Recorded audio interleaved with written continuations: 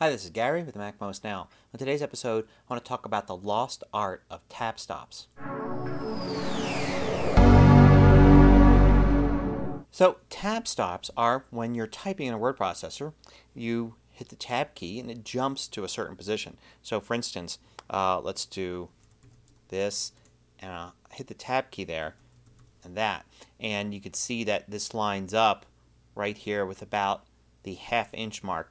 Um, I can do one and tab and then two and you can see that the second word there because there's a tab will line up perfectly there. I can actually go into uh, view and show invisibles and you can see the tab there as a little arrow.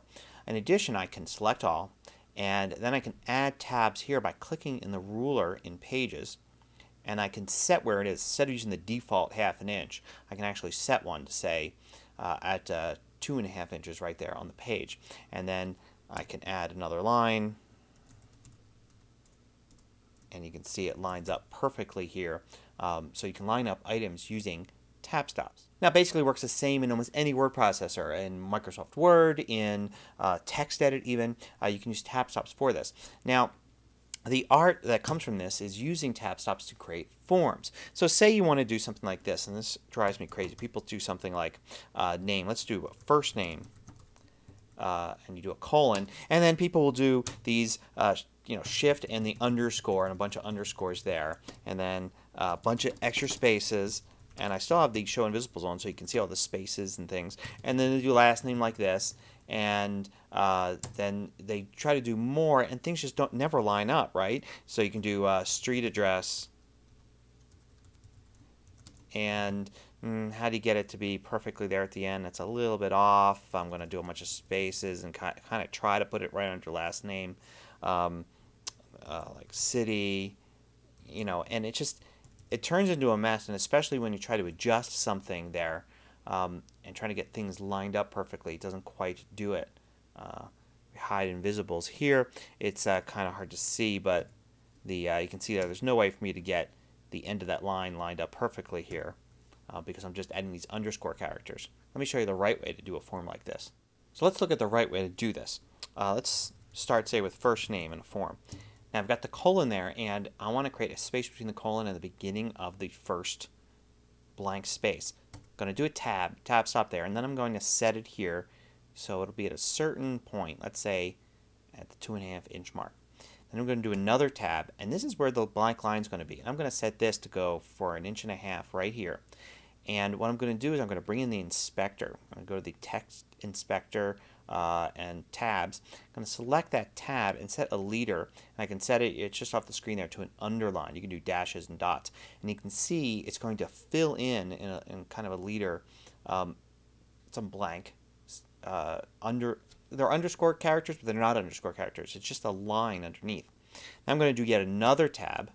And I'm going to line this up perfectly at four and a half. And I'm going to do last name. Then I'm going to do tab again and I'm going to kind of set this up to start here. Do another tab and I'm going to set that to go all the way to the end. And then for this tab here six and a half inches I'm going to set that also to be a leader. And then you can see here that I've created this blank space. Let me go and remove the invisibles there and you can see that. Now I can adjust these tabs.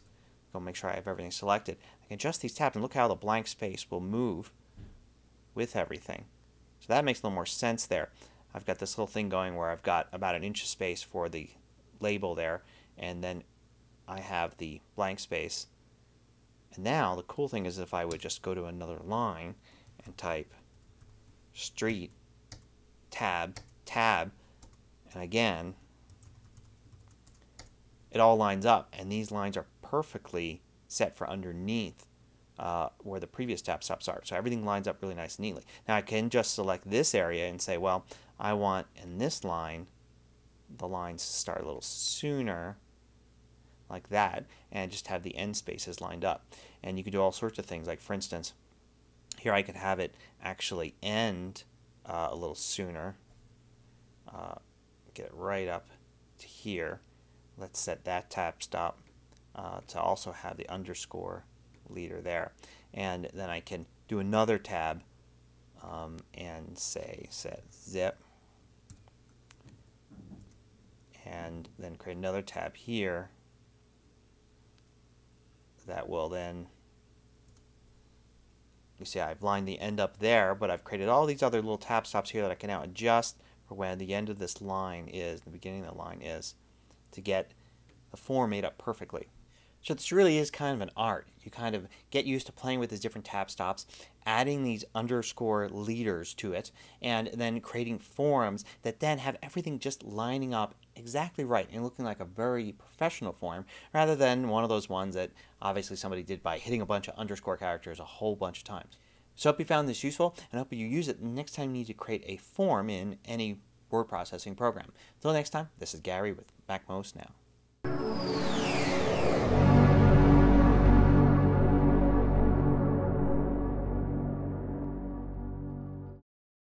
Want more video tutorials? Just go to MacMost.com, click on the videos link at the top of the page, and then you can view all of the hundreds of MacMost videos by category.